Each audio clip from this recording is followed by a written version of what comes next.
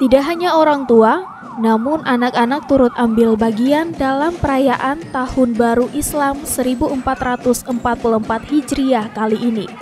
Banyak terlihat sekolah muslim di Sorong terlibat dalam aksi Jalan Pawai Fajar yang dimulai dari kawasan Sorong Pusat hingga Masjid Agung Al-Akbar.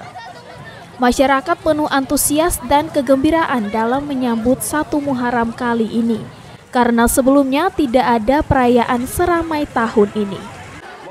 Dilaksanakan pula Basar Amal untuk pembangunan Masjid Agung Al-Akbar Sorong yang melibatkan 80 badan kemakmuran masjid di 10 distrik yang ada. Ada sejumlah makanan dan jajanan yang dijual dengan harga yang mudah dijangkau pengunjung.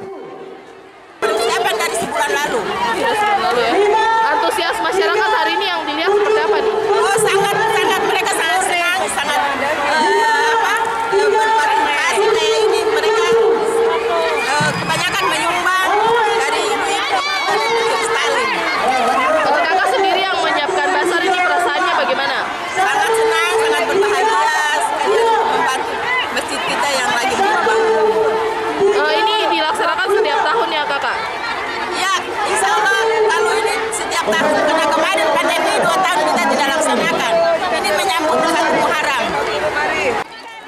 Tujuan dari pelaksanaan seluruh rangkaian peringatan satu Muharram untuk memeriahkan dan sekaligus mengajak seluruh umat Islam untuk menjaga toleransi umat beragama agar situasi keamanan di kota Sorong tetap kondusif.